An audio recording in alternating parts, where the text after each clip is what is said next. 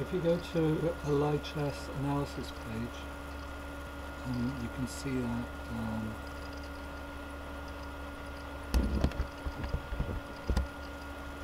lines e4 and d4 and knight f3 and c4 have all been played over a hundred thousand times. So what I've done is I've followed the lines and stopped uh, where it goes under a hundred thousand. So these are all the lines.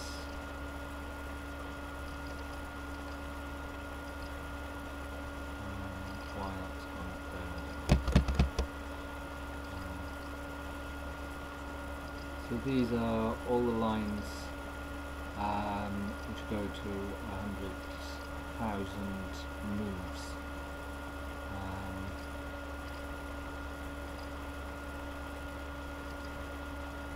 and it turns out that there's exactly nine of them. So we've got this position, C4. There's no response to C4, which is more common than 100,000.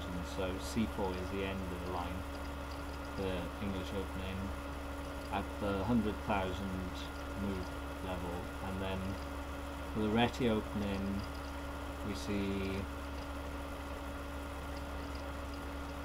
knight f3 and then knight c6, and that's it. Um, Queen's Gambit goes as far as c4. That's a very common position.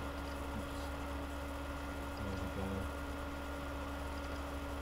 Common position.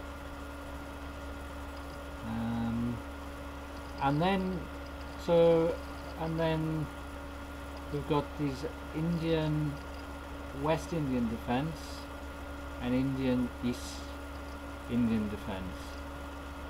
So both of them start with d4, knight f6, c4, and then if it's uh, g6, it's West Indian, and if it's uh, e6, it's East Indian. And these are both the uh, end of the line for 100,000. Ruy Lopez gets as far as bishop b5, e4, e5, knight f3, knight c6 and bishop b5.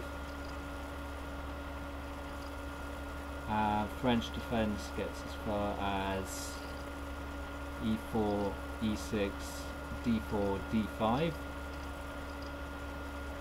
And then in the Sicilian there are two lines. So e4, c5, knight f3 is the same in both. And then knight c6 is the old Sicilian and that's as far as the line goes at 100,000 and then really by far the longest line is the modern